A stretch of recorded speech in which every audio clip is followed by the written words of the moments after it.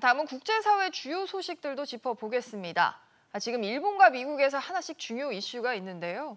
일본은 지병으로 사임한 아베 총리의 후임 선거가 있고 미국에서는 대선 레이스가 한창인데 갑자기 계엄령 소식이 나오고 있습니다. 어떤 얘기인지 취재 기자 연결해서 하나하나 짚어보겠습니다. 이광호 기자. 네, 이광호입니다. 네, 우선 일본부터 살펴보죠. 아베 총리 후임 선거 결과 이거 오늘 바로 나옵니까?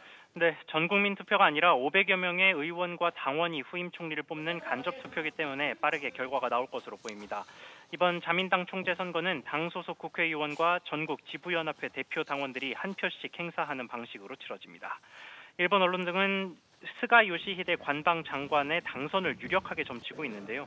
스가 장관이 아베 정권의 계승 의사를 여러 번 내비쳤던 만큼 당선 이후에도 한일 관계에 특별한 변곡점이 생기긴 어려울 것이라는 관측입니다.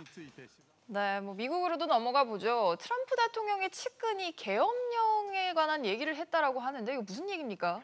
네, 정치 공작의 달인으로 불리는 로저 스톤의 말이었는데요. 스톤은 지난 10일 한 극우 사이트 운영자의 인터넷 방송에 출연했습니다. 이 자리에서 선거에서 지면 계엄령 선포를 고려하거나 폭동 진압법을 발동하라고 말한 겁니다.